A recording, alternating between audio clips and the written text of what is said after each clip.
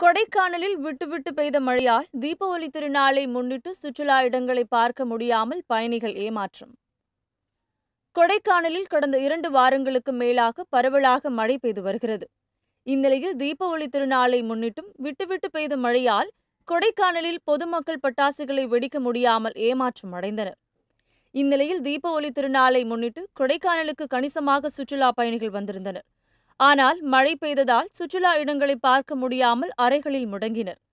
மேலும் மாலையில் மழை குறைந்ததும் மேகமூட்டம் அதிகமாக காணப்பட்டதால் குளிர் அதிகமாக நிலவியது. ஏரிச்சாலை கலையரங்கம் பகுதி செவன் ரோடு அண்ணா சாலை பகுதிகளில் சுற்றுலா பயணிகள் காணப்பட்டனர். இதுபோன்று உங்களை சுற்றி நடக்கும் செய்திகளை நீங்கள் தெரிந்து கொள்ள சப்ஸ்கிரைப் செய்து பெல் ஐகானை கிளிக் செய்து எங்களோடு பயணியுங்கள்.